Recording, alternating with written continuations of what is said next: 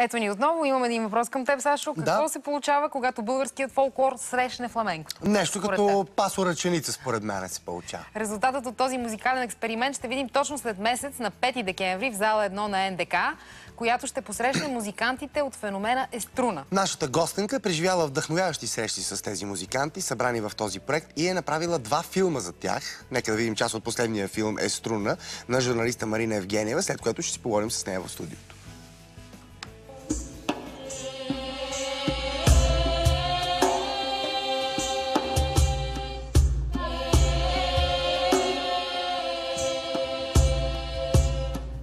Най-дългият път започва с една крачка. Първата за героите на нашата история беше в София, преди три години. В края на 2012 музиканти от Испания, Италия и България се събраха за да слеят в едно фламенко музиката и фолклора ни. Нарекоха приключението си Еструна и поеха по пътя му.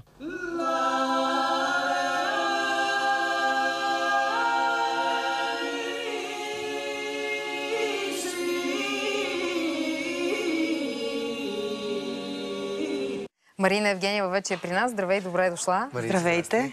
Разкажи ни за тази част от нашите зрители, които не знаят, каква е историята на Еструна.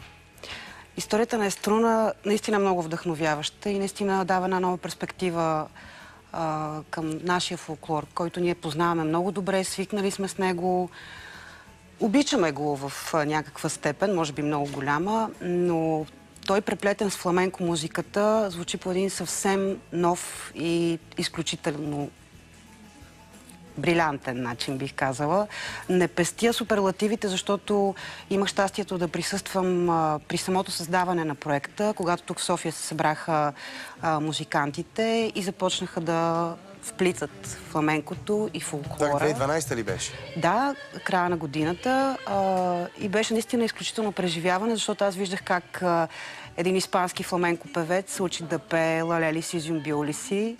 А, виждах а, как а, прекрасните момичета от хор Нови български гласове пеят, започват да пеят една испанска приспивна песен в фламенко стил и всичко се случи пред очите ми. И всъщност за три години те толкова се развиха, че доколкото разбирам, сега са били на най-големия, най-престижния фестивал за фламенко в света. Точно така. Те бяха в Севиля през септември месец. Нашия екип също беше там да отрази това събитие.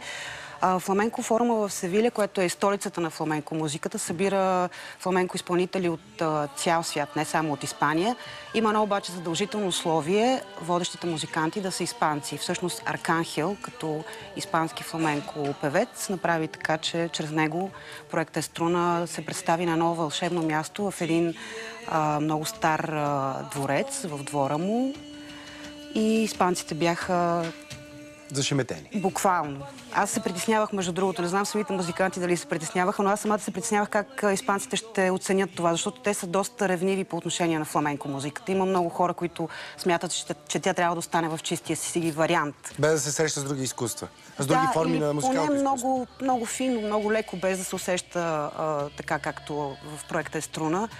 Но публиката беше вдъхновена, аплодира на крака изключително дълго време и всички бяха много доволни. Това, което забелязах, че през 2012 състава е бил един говорен от българска страна, ще ме поправиш и после виждам, че са други момичетата или това не е така. А, мисля, че в, през 2012 имаше едно момче в хора. Сега то не успя да дойде в, в Испания, но все още. Тоест е оригиналния в, състав, е, така ли? Да. Явно да. са се променили за 3 години, защото не ги бяха различни за мен. Същите момичета са под а, диригентството на Георги Петков, който всъщност участва и в аранжиментите на, на самите песни. Всъщност трябва да уточним това, че на базата на българския фолклор и на фламенко музиката и на композициите на изключителния Антонио Фурчоне, един невероятен етно-джаз китарист от Италия, който живее в Англия от много също е години. художествен директор, нали? Да, а, тези хора правят нещо, нещо съвсем ново, което звучи феноменално. Какво да очаква сега публиката в НДК на 5 декември? На е, колкото ти знаеш. Седми ли? Пети? Извинете. Много ти станаха датите, за да се объркваш. Което е 16 дни след концерта на Маргарита Хранова, между другото. Просто го дам за референция. Да, да, Ние- ще се опитам да го запомня. Благодаря ти. Добре. Ами, могат да очакват една магия, наистина. Защото ам, това, което са създали музикантите от Еструна, наистина е съвсем нов прочит, съвсем ново звучене на, на фламенкото и на, на нашия фолклор.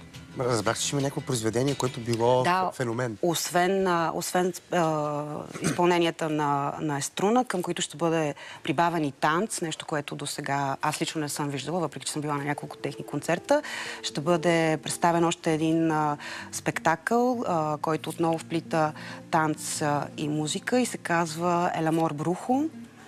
А, и тази година се отбелязва неговата 100 годишнина, един много известен а, испански спектакъл, на който българската публика ще може да се наслади.